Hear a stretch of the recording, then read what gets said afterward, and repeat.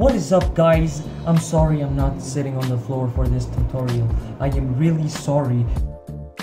But anyways, in this video I'm to show you how you can play your PlayStation 4 games on your PC via using the remote play app. I made a similar tutorial to this uh, on how to play your PlayStation 4 games on your uh, mobile device. So if you want to watch that, uh, it's gonna be up here in the card somewhere.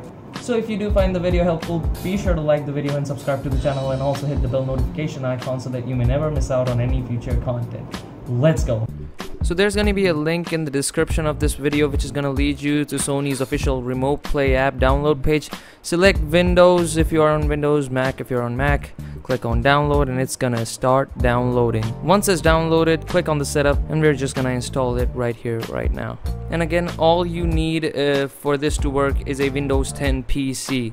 So just browse the folder which you want to install. I'm gonna install it in C drive and now it's gonna be installed.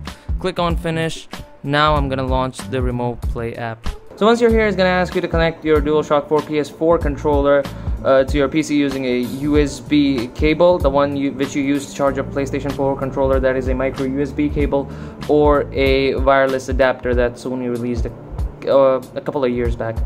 Um, don't do that now, just click on start. Once you're here, just click on register manually. Uh, I Now I got my PlayStation 4 right here. So now what you need to do is go to your PlayStation 4, go to settings, scroll down, go to um, remote play connection settings, and now select add a device.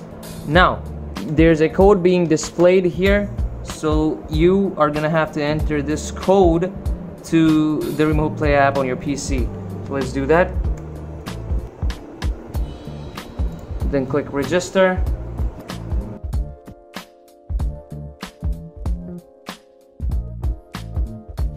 There we go. Now we're in the PlayStation 4 with this. It's audio and everything. I, I'm gonna like mute the audio on my PC so that you don't get disturbed and shit.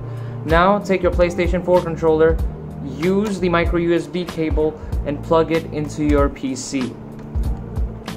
You see the light glows blue?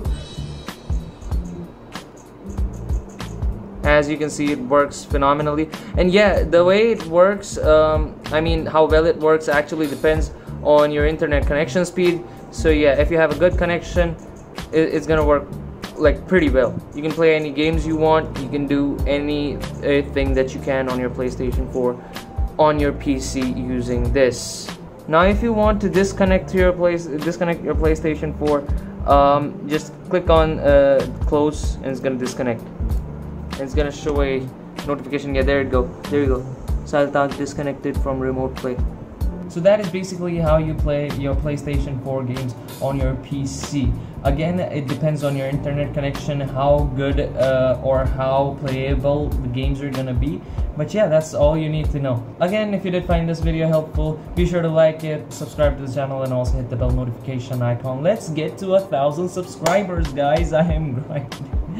You can see how freaking tired I am, dude. But yeah, I gotta pump out content for you guys. But anyways, uh, I'll see you next time.